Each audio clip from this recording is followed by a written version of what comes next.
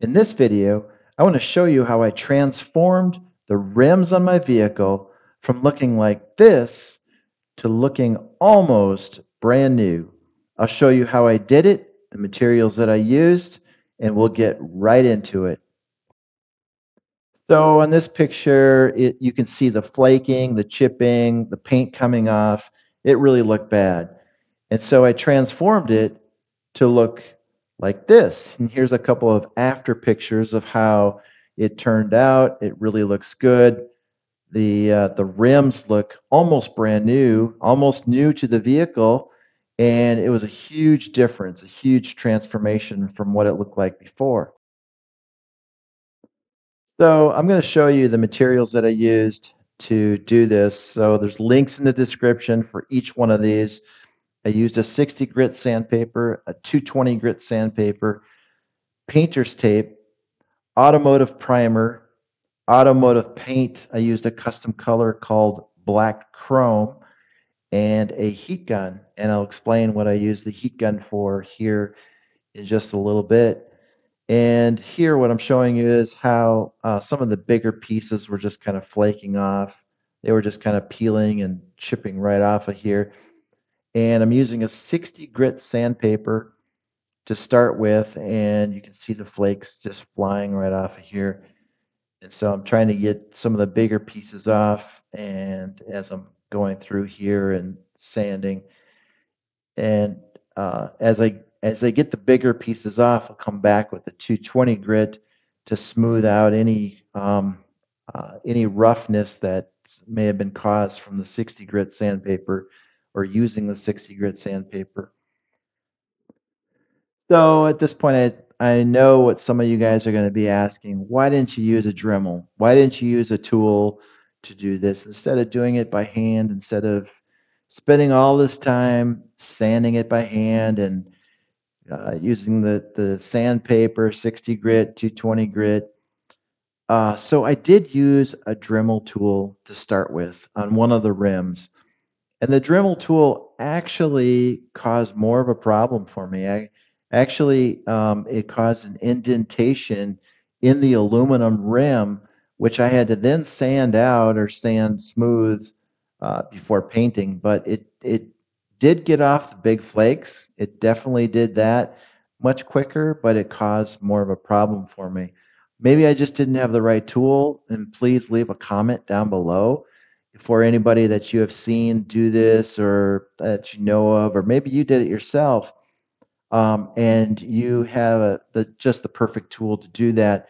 So please leave a comment down below if you have a tool or if it's a Dremel tool and a certain attachment to that.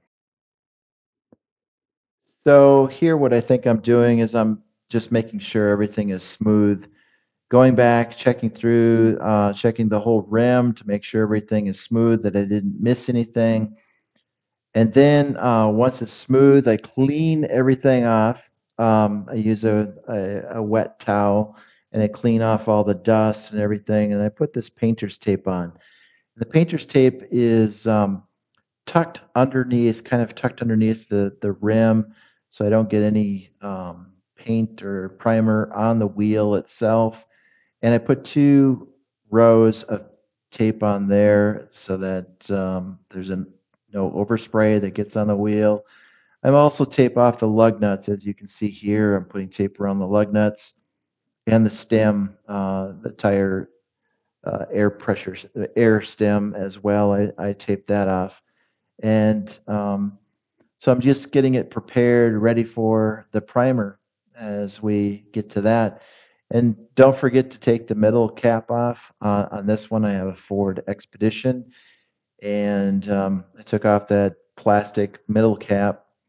And on here, um, I put uh, cardboard on the backside, so I'm not spraying the brakes and and everything on the backside. So I stick cardboard back there. And here is it's not a good picture that I have here, but this is um, the first coat of primer. And so primer is really runny. Um, it likes to run. And so what I do with the primer is I use the heat gun um, to help dry it much faster. I do this with the primer and with the paint. Um, and so I use the heat gun and I hold it on there for quite quite a while until it's actually until it's dry. So the primer is a gray gray color, and so when it's completely dry, it's really a light gray uh, when it's completely dry. So I hold it on there for quite a while. And then if there are any runs, I um, have to sand those down and, and spray some more primer on there to get them nice and smooth. And then this is the final coat. So I put this on. I usually do two coats of of the actual color on here.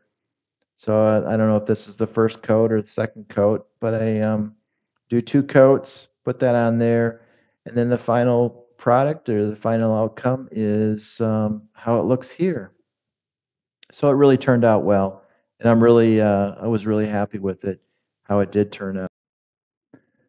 So the products again that I used were the 60 grit sandpaper, the 220 grit sandpaper, painter's tape, automotive primer, uh, automotive paint, the color of your choice. Um, I used a black chrome and a heat gun. Um, and the links are in the description below for each one of these products. So I'll see you on the next one. Thanks for watching.